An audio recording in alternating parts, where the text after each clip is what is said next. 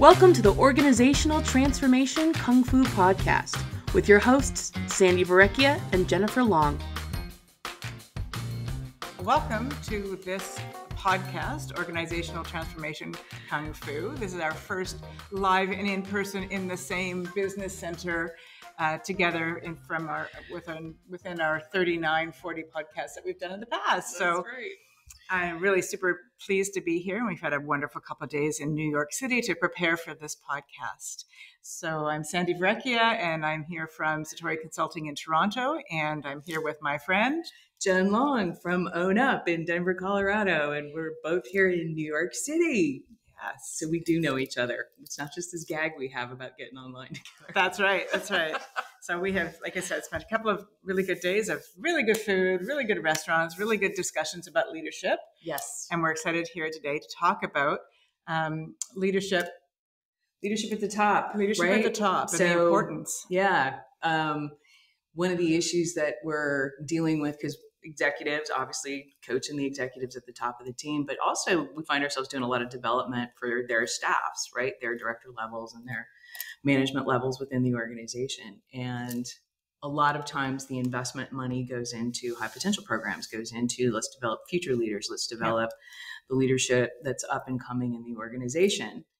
And what we find is that the investment isn't getting made in the top team itself necessarily. Mhm. and that that is a challenge for a lot of reasons but that it's something that um, companies really should be looking at initially because the landscape of business pandemic all of it is changed. And what is the top team doing to invest in their own learning and their own shift to be able to lead effectively within the context of what's happening today and actually being able to demonstrate to the up and coming leaders what leadership should be looking like right Mhm. that walking the talk So let's talk a little bit about sort of how we got here, right? So uh, functionally, leaders are, are are moved up, right? And so we assume once you hit a certain plateau, you have all the skills and the capabilities and the competencies to be a strong leader, which may be true, but we have to also look at it in the confines of, of, of leadership team. Right. And does is the team holistic in the competencies in which it brings forward? And that's sort of where it falls down. So we, we bring these teams together. We assume that they have the uh, the competencies. We assume they you know share one leadership brain, um, and uh, and then all the money. Then so we need to develop our people. We need to develop our people, and really lose sight of of themselves. Yeah, yeah and it's um the discussion is always an interesting one because they can see where the organization has gaps and they can see you know relative to their own execution and performance and uh, what what needs to happen. But the the reflection internally isn't necessarily there right? It's it's the whole marshall goldsmith what got you here won't get you there Yeah, understanding. And it, it just really becomes the impact of a leader who isn't learning. Um, can be huge Mhm. Mhm. right so what are some of the things we're finding relative to when leaders aren't open to their own they're not self-aware enough to know what what they're looking to what they need to be doing Well, I think one of the first and foremost thing is that they they if there's lack of clarity on the direction of the strategic plan or stra- strategy, right? So when they're not having those conversations, it's like how do we know if we're moving forward, if we're moving the organization forward, if we're not stopping to have those conversations? You know, that's the the most important thing that the leadership team is going to be doing. Um, and you know, we're doing a lot of street strategy work, which the execution of it is, is often very poor. I think having those conversations at the top level about the why and Mhm. is it is it just that we can't execute on it um, it isn't just that we can't execute but why what, what are the gaps in terms of in our team in, in order to ensure that that gets that gets done right? Num- number one thing, right, that leadership teams really kind of struggle with is this emotional intelligence, this psychological safety. So when we talk about leadership learning, leadership development is self development. Mm-hmm. It's better understanding about who you are, what you're strong in, what you're not strong in. Really understanding what your insecurities are, not just you as a person, but you as a leader. Where do you feel like, where are you trying to hide oh god i don't i'm not clear on or i'm not i don't understand right i can't get to good hard conversations around strategy, around decisions, Mm-hmm. around especially tough decisions as your business is growing or ex- or shrinking. Um, how to have the how to table the really Mhm. important issues, right? It's it's it's that gets stymied because I'm more worried about not showing up insecure. I've made it to this level. Yeah. I should be competent. I should be, and to be vulnerable at the top is probably one of the hardest asks that that I don't think leaders really face head on. And I think that whole adage of fake it till you make it, it Yeah. only takes you so far. Right. And so if you are still faking it and you're at, sitting at an executive table, you sort of need to then sit back and do that introspection and, and think about your leadership style.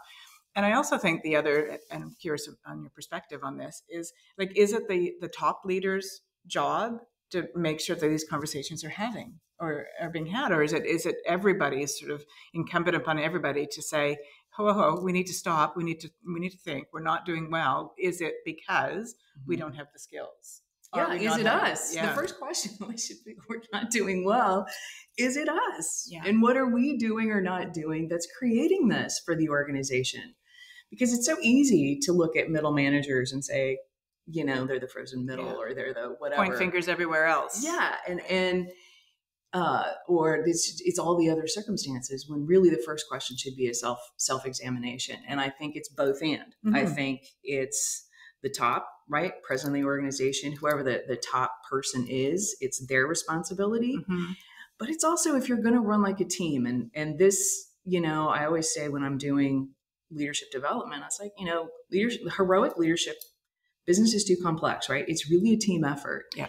And there's not always just one person who's who's going to make a business go. It's really a, gr- a group of people Mhm. that are going to make it happen. And while it's it should be team driven and team led, the president or the leader does have the obligation to set the tone. They do.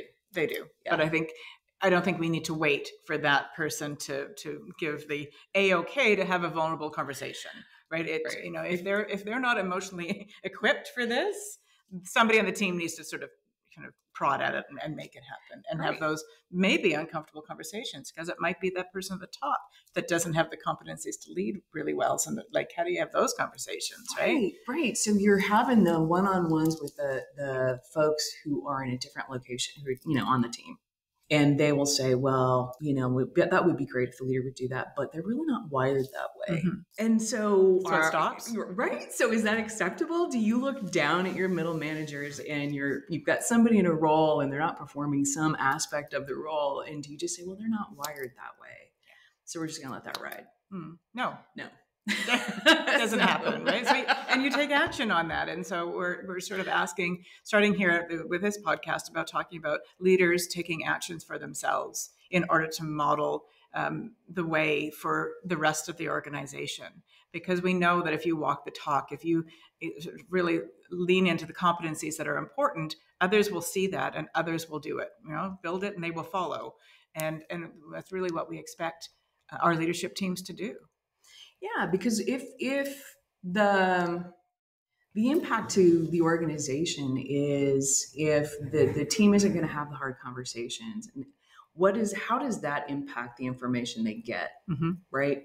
That's brought to them. How how willing and open are the people below going to be, and and if they're not tight up at the top, the distance between the everyone else and how they have to negotiate their way through getting things done just becomes much, much more difficult. That's right. Any additional thoughts, there No, I just I think that it, you know if if if you create the space for those conversations to be had, other team leaders within the organizations will do the same. And uh, if you create that space, there's that willingness for people to say, I, I can't do it. I don't have the tools. I don't have the funds. I don't have the whatever. Or my team isn't set up for success. I need more of, and ask for what they need. And I think that's a lot of what we're asking of, of leaders is, is to create that space, to do it within their own space, but to create the space and model the way for others below them for um, strong, cohesive leadership throughout an organization. Right, right. And that whole um, being able to get a coordinated effort, right? If you're not alignment, Mhm. Alignment is the ongoing conversation around heading in the same direction. And when there is a lack of vulnerability, a lack of aware, everybody just tends to operate where they're comfortable. And siloed.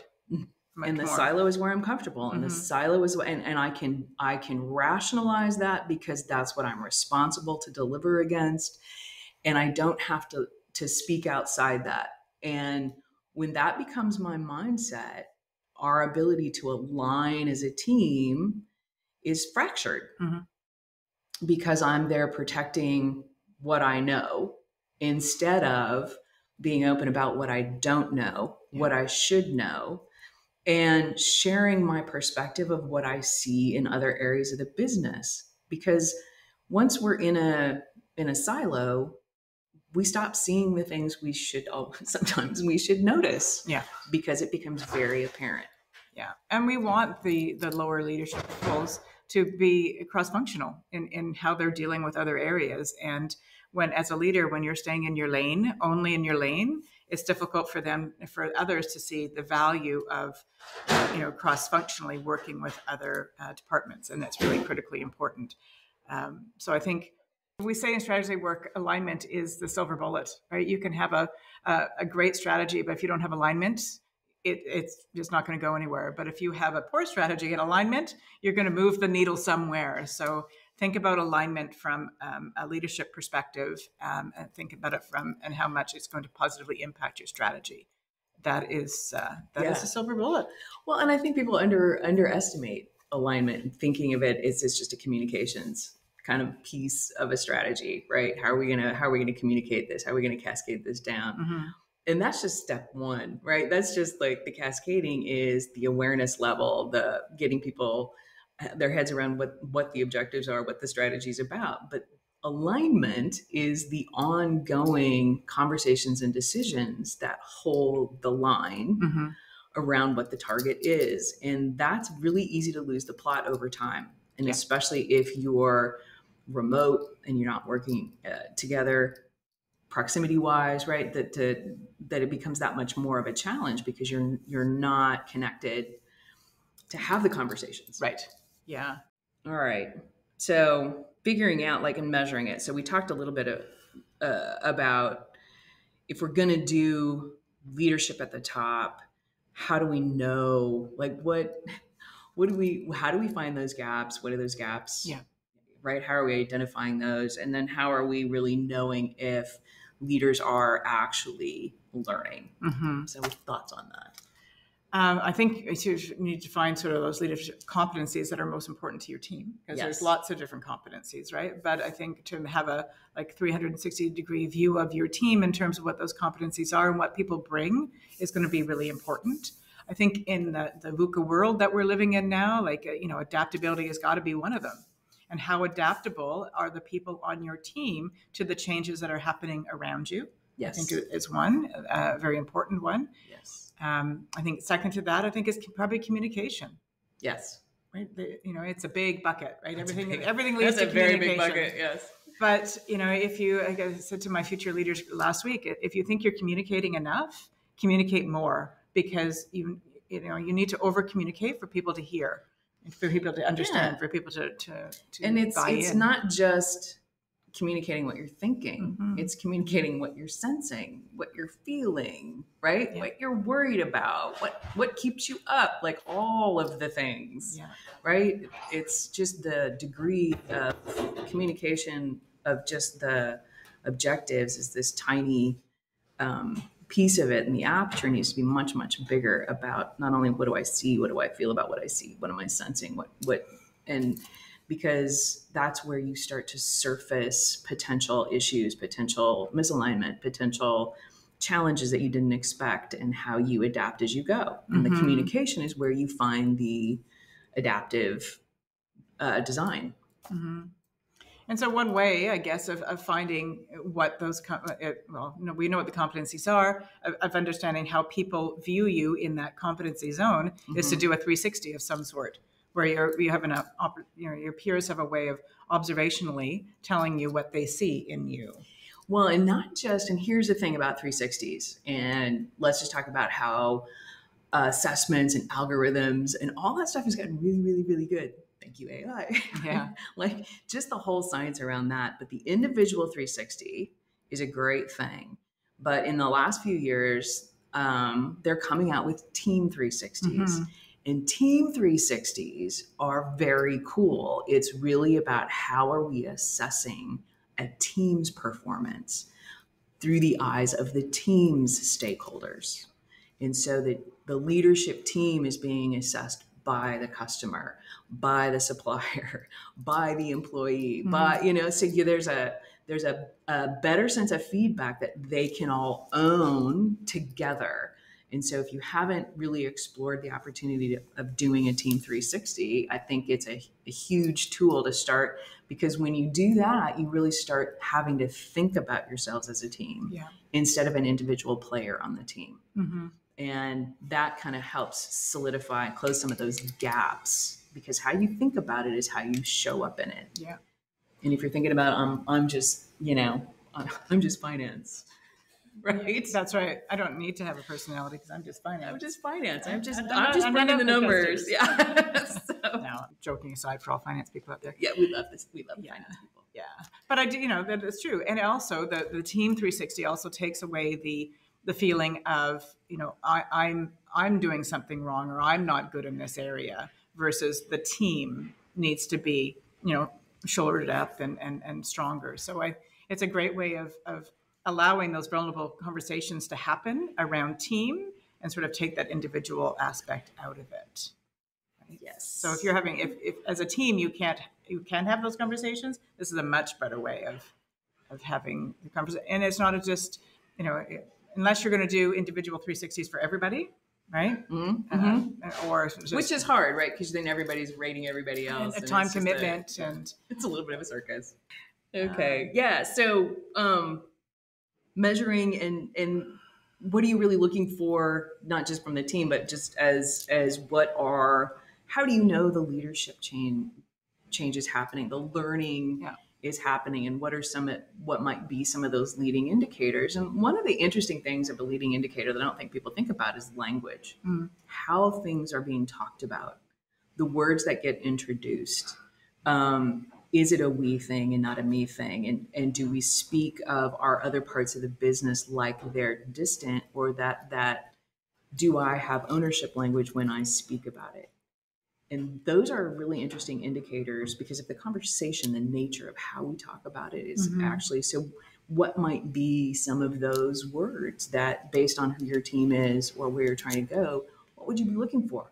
What are the the stories you'd be looking to tell, and in what context you're telling them? Mhm. And that's a leading indicator. If we've all stopped saying "you guys" yeah, or "us," if the "us and them" thing goes away, Yeah, and it's a "we" thing all the it's time, that department, not us. Yeah. right. Yeah, for sure, Yeah. for sure. But do you think then that leadership teams, uh, so they do a 360, they're the competencies, they're having these conversations, they need to determine what these comfort those stories should be hmm before, right? So what are they looking? What are you looking for? Yeah. And so uh, taking some time, and and you know, time is isn't not something we have a lot of, of but if you don't take the time as leaders to spend the you know, the, time to do this sort of inf- this stuff, it makes it it's I don't know. You, you need to take the time, right? It is as important as strategy. It's as important as budgets. It's as important as you know the, the next big thing that you're going to be doing because Yeah. this is permeating through your organization. And once you get everybody rowing in that same direction, uh, then you know things will go faster and things will move faster and things will be easier. And Well, and you're already having the conversations. Let's just let's be really clear. You're already spending the time. You're just not talking to each other. You're only talking to people that you're connected to. Right? Mhm. You're having conversations about your frustrations. You're having conversations. It's happening, but is it happening with everyone? Right? Is it happening in the right context? Or are you only having those conversations on the side before the meeting or after the meeting or whatever when the team is together?